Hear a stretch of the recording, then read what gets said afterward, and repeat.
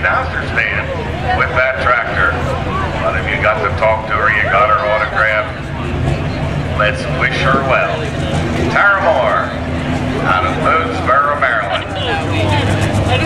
Yeah, we've got two lady drivers here in this class, and some more in the other classes as well. And, and Tara just came off of a win last weekend in Boonsboro, Maryland. Wow, she won down there.